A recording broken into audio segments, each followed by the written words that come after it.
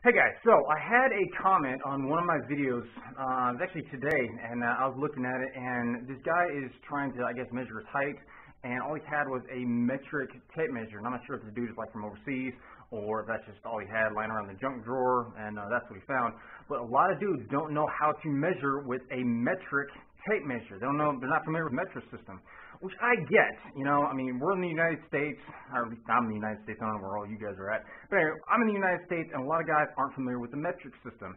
Now, they are teaching it in schools now. I mean, I, I learned about it when I was a kid. And you know, but a lot of the uh, the old time you know woodworker guys are not really really familiar with it, and a lot of guys that I grew up with that never learned how to read a tape measure aren't exactly familiar with the metric system either. Okay, so going to teach you a little bit about it, okay? I'm, I'm not going to go into all the different types of metric measurements and all that stuff because that's just way too much, all right? So it's just going to kind of give you the basics, all right? A little bit of whiteboard action here, all right? So the basic of, or the basis of the metric system is base 10, okay?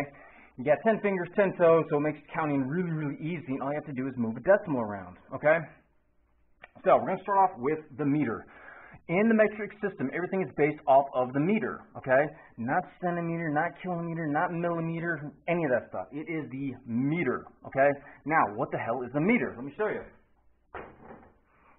On my handy dandy tape measure here, all right, you can see I've got the metric on the bottom and the American way of doing it up at the top. Now, where exactly is the meter? Hang on one sec.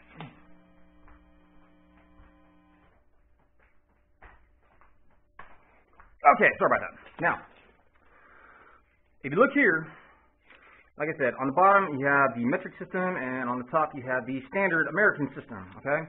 Now, if you bring it all the way out, there's one foot, there's two foot, and there is three foot.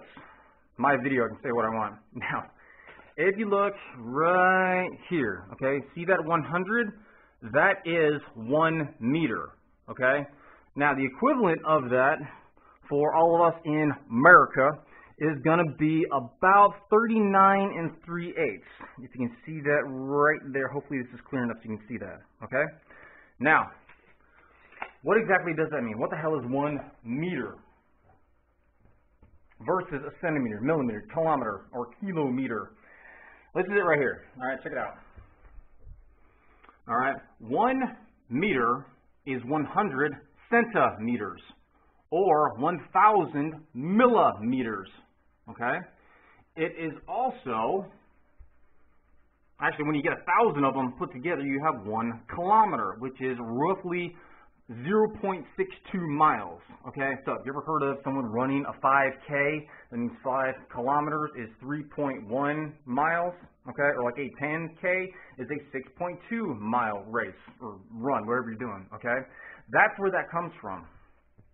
Now, did a little example down here at the bottom. Okay, so say that, you know, for example, you measure something and it's 37.5 centimeters. Let me show you what that looks like first off.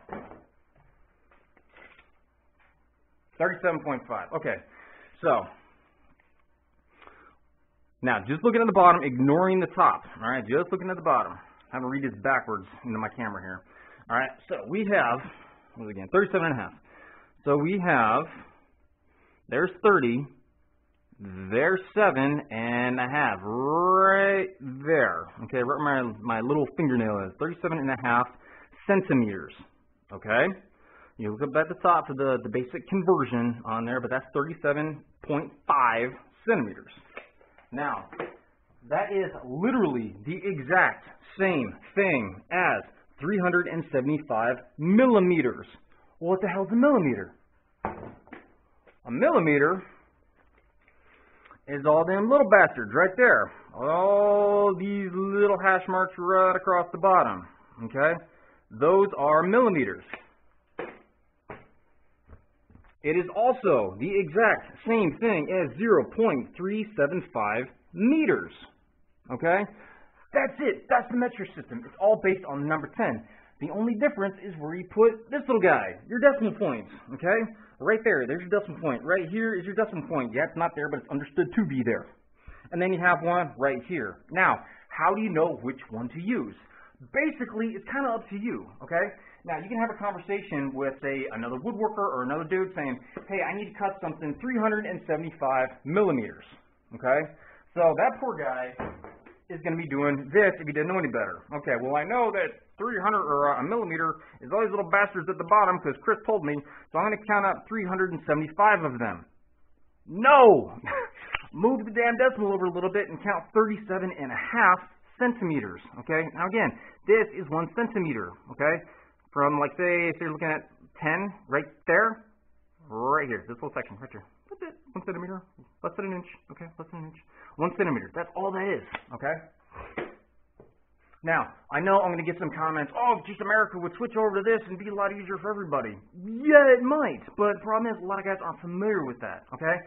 So, I mean, I was looking all over the shop to try to find an old uh, metric tape measure. I don't have one, okay? I got that one from work years ago that has, you know, both of them on there. So yeah, a lot of us in America aren't real familiar with the metric system, so this kind of what I'm doing. Okay, so if you guys want to bitch and argue about it below, hey, that's cool. I don't care. It'll be entertaining for me. All right, as far as you know, which one is better. Okay, I don't really care as long as your measurements are consistent and accurate. Okay, so again, hopefully that helps. All this jazz right here, the basis is one meter. Okay, you put a thousand of them bastards together, you got one kilometer, one kilometer. 100 of them is, or uh, you know, 100 centimeters is going to be one meter, or 1,000 millimeters equal one meter. It's all the same thing, okay? Now, I might be a little biased, okay, but yes, counting with my fingers and toes, all right, is a lot easier than having to take 12 foot or uh, 12 inches is one foot, and then you know trying to you know figure out what what a yard is, and you know miles are all kind of weird, and then like cups and ounces. It's just, it's weird, okay? But that's what we use here. So if you don't like it, suck it up or learn it, all right, whatever. All right.